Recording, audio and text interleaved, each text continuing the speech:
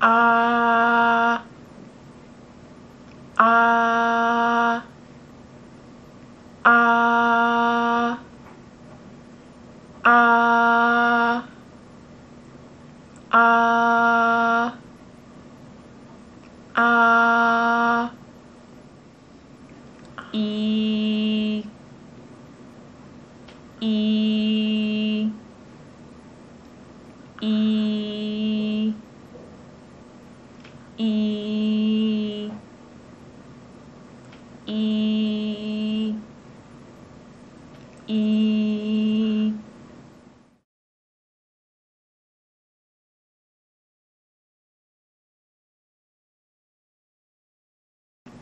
They were so busy imagining that they didn't notice they had company.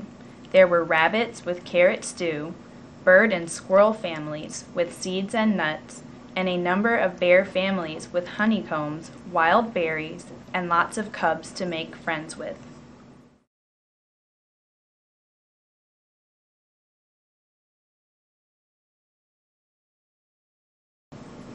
In a little house deep in the hundred acre wood, a very round bear named Winnie the Pooh was doing his slimming exercises. He was breathing deeply when all of a sudden he felt his tummy rumble. Oh my, said Pooh, this up and downing is making me hungry. In a little house deep in the hundred acre wood, a very round bear named Winnie the Pooh was doing his slimming exercises. He was breathing deeply when all of a sudden he felt his tummy rumble.